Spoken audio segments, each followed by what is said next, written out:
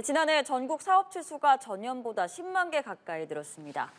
통계청에 따르면 지난해 말 전체 사업체 수는 623만 8천여 개로 전년보다 9만 8천여 개 늘어났습니다.